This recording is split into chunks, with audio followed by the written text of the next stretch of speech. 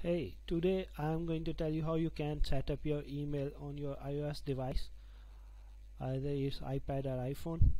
What you can what you have to do uh, you need to log in your cPanel at webmail then go to your email accounts. There you should have password for the email you are going to set up on your iOS device. Then there are two ways.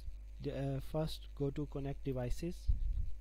If you have if you have logged in the cPanel from your iPhone or iPad device a Mac operating system then what you can do just click on it so you can download the configuration file which you can later go to downloaded profile and set up. But here I am going to talk about manual settings. For that please see these settings.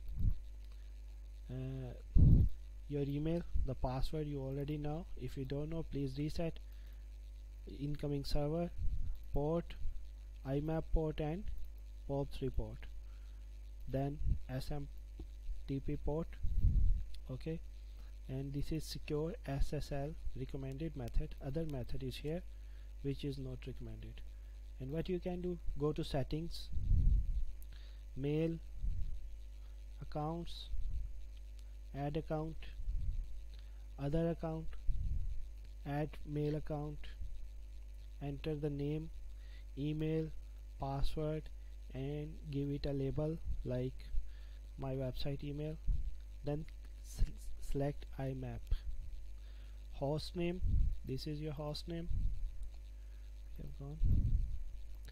This is your host this will be your host name incoming server.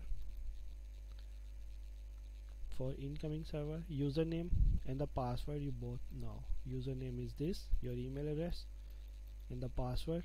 Then for outgoing outgoing mail dot oh sorry it's here.